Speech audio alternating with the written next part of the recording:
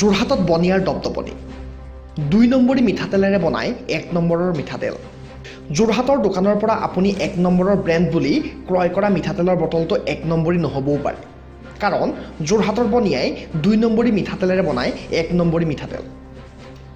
এনে এটা মিঠাতেল ভেজালকৰণৰ প্ৰতিষ্ঠান যোৱা সাত মাৰ্চত হাতেলতে ধৰা পেলাইছিল যোৰহাটৰ কেইবাটাও জাতীয় সংগঠনে। যোৰহাটৰ কেন্দুগুৰিস্থিত ৰাঠি ট্ৰেডাৰ্ছ নামৰ প্ৰতিষ্ঠানটোত মিঠাতেল ভেজালকৰণ কৰি থকা অৱস্থাতে অনুসূচিত জাতি ছাত্ৰ সন্থা অসম জাতীয়তাবাদী যুৱ পৰিষদ আহোম সেনাকে ধৰি কেইবাটাও জাতীয় সংগঠনে হাতেলতে ধৰা পেলায়। ইয়াৰ পিছতে ঘটনাস্থলীত উপস্থিত হয় অতিৰিক্ত উপায়ুক্ত আৰু ভোগদৈ আৰক্ষী। বাজেয়াপ্ত কৰা হয় ভেজাল মিঠাতেলসমূহ।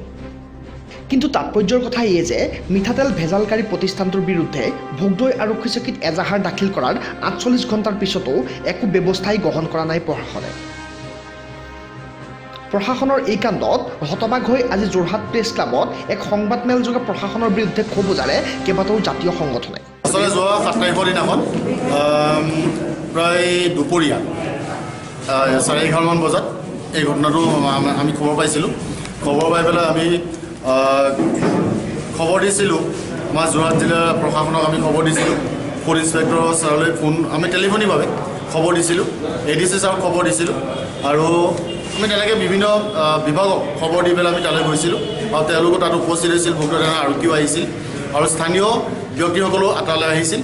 আৰু তাত আমি দেখিছিলোঁ যিটো নেপালৰ পৰা এটা ৰিফাইন তেল আহিছিল। নামটো বাবা। আৰু সেইটো আমাৰ অসমত নিষিদ্ধ কৰি থোৱা আছে। সেই বাবা বেন ষ্টাৰৱে লহৰ মিঠাতেলৰ বটল এনেকুৱাবোৰৰ পৰা এটা ট্ৰেক বাকি লৈছে। আৰু ফৰচুন বুলি এটা যিটো ষ্টিকাৰ থকা এটা টিঙত সেইটো মানে ফৰচুন এটা খুব দামী ব্ৰেণ্ডেড হয় সেই ব্ৰেণ্ডৰ টিঙত এটা তেলখিনি ভৰাই আছে। আমি সেইটো প্ৰত্যক্ষ কৰিছিলোঁ আৰু সংবাদকৰ্মীও আছিলে তাত উপস্থিত। তেতিয়া তেওঁলোকে ওলোটাই আহি পেলাই সংগঠনক তেওঁলোকে এতিয়া মানে দাবী ধমকি দিছে। তেওঁলোকে কৈছে অসমীয়া চোৰৰ বাচ্চা। আৰু মাক লৈ পেলাই এটা গালি দিছে যিটো মই ক'ব নোৱাৰোঁ। আৰু তেওঁলোকে কৈছে অসমীয়াক দৌৰাই দৌৰাই পিটিম অসমীয়াক গাড়ীত বান্ধি লৈ যাই নদীত পেলাই দিম। এনেকুৱাখিনি কথাও আচলতে তেওঁলোকে কৈছে। যিখিনি কথাই আমাক আচলতে অন্তৰত আঘাত কৰিছে। আৰু আমি তেওঁলোকক অনুৰোধ জনাইছোঁ তেওঁলোকে ভেজালকৰণৰ যিখিনি ব্যৱসায় কৰি আছে সেই ব্যৱসায় বন্ধ কৰক। কাৰণ লালিগড়ৰ কাহিনীটো আপোনালোকে গম পায় এশ সত্তৰজনতকৈ অধিক লোক নিহত হৈছে। যোৰহাট আৰু গোলাঘাটত। গতিকে তেনেকুৱা এটা কাণ্ড যাতে হাজাৰ হাজাৰ লোক যাতে আৰু মৃত্যুমুখত নপৰে ভেজাল খাদ্য খাই পেলাই তাৰ বাবে আমি তেওঁলোকক আহ্বান জনাইছোঁ। আৰু লগতে আমি বিভাগীয় বিষয়াসকলক অনুৰোধ জনাইছোঁ অতি সোনকালে এটা উচ্চস্তৰীয় এটা তদন্ত দি ইফালে একাংশ হিন্দীভাষী সংবাদ মাধ্যমে ভেজালকাৰী প্ৰতিষ্ঠানটোৰ পক্ষ লোৱা বুলিও মন্তব্য কৰে জাতীয় সংগঠনটোৰ নেতাই। মই হিন্দী সংবাদকৰ্মীসকলক আহ, আহ্বান জনাম। প্ৰকৃতাৰ্থত আহ, যোৱা কালি যিটো বাতৰি পৰিৱেশন কৰিছে পৰহি বাতৰি পৰিৱেশন কৰিছে ৰাতি গুদামত আহ, তেলৰ মানে সন্দৰ্ভত যি যিটো ঘটনা হৈছিলে সেই ঘটনাটো একচুৱেলি প্ৰকৃতাৰ্থত বিভাগীয় কৰ্তৃপক্ষই সেইটো গোটেই যে ঘটনাটো এটা ইলিগেল হৈছে সেইটো তেওঁলোকে নিজেই বিভাগীয় কৰ্তৃপক্ষই জানে আৰু তাত উপস্থিত আছে প্ৰশাসনৰ মানুহ উপস্থিত আছে।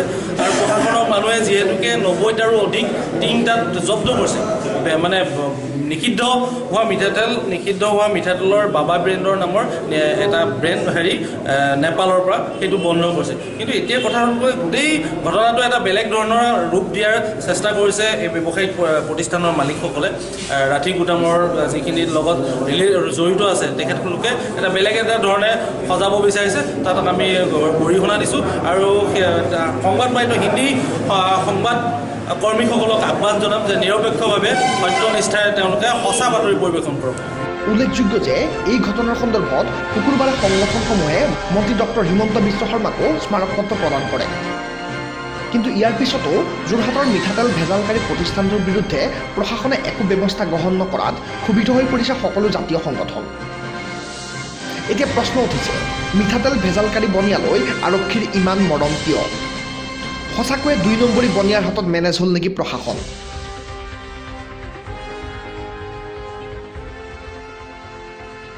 অৰিন্দম হাতীবৰ আৰু দীপক হাজৰিকাৰ report news twenty four north east